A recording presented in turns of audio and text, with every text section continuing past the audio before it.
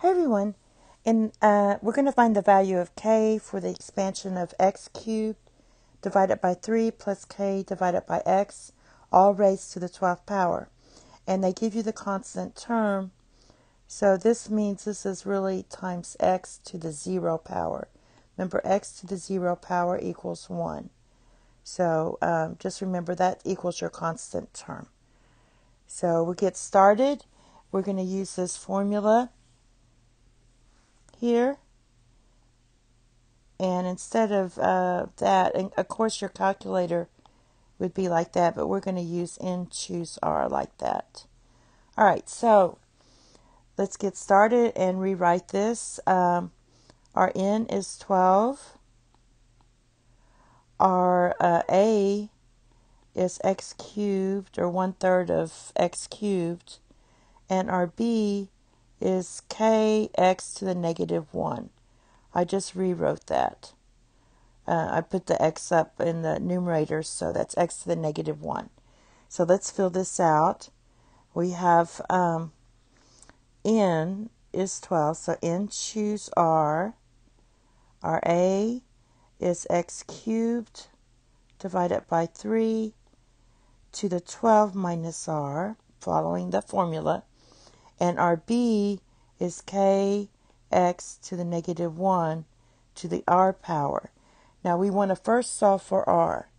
So the first thing I'm going to do is just look at my x's here. So if you just look at your x's, um, this is um, x cubed divided by 3 is really one third times x cubed. So I'm just looking at the x's. So I'm going to take x cubed times 12 minus r.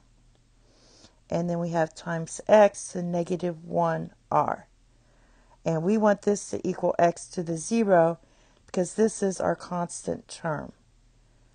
Therefore, I'm going to combine my x's. So I have x, um, this is 36 minus 3r times x to the negative r equals x to the 0 power.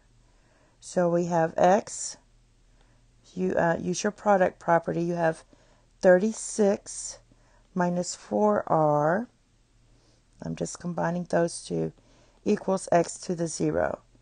Now that my bases are the same, they're x's, I can just solve for r. So 36 minus 4r equals 0.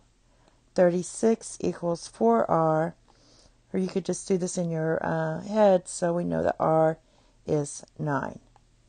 Now, in the next one, I'm going to plug in my r and then solve for k. So basically, my r is 9, so I'm going to plug this in. I have 12, choose 9, x cubed divided by 3 to the 12 minus 9 power, and then I have kx to the negative 1 to the ninth power. So um, this is just 3. So this gives you uh, 12 choose 9 is just 220. And then this is going to be um, x to the ninth and then 3 cubed is 27. And then we have k to the ninth and x to the negative ninth. So putting all this together, we have 220 divided by 27 um, times x to the ninth, k to the ninth, and x to the negative ninth. Well, x to the ninth times x to the negative ninth is x to the 9 minus 9, which is x to the 0. And we set it up that way, so we can just disregard that. So now we have 220 divided by 27, k to the ninth power equals our constant, which is 1, 1, 2640. put that over 1 if you want.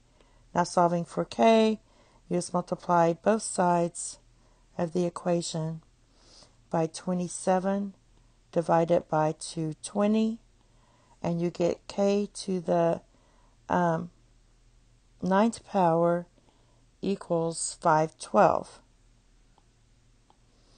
Now if you take the ninth root of both sides, you get k equals 2. That's because 2 to the ninth equals 512. So that's our final answer. Thank you. Have a nice day. Bye bye.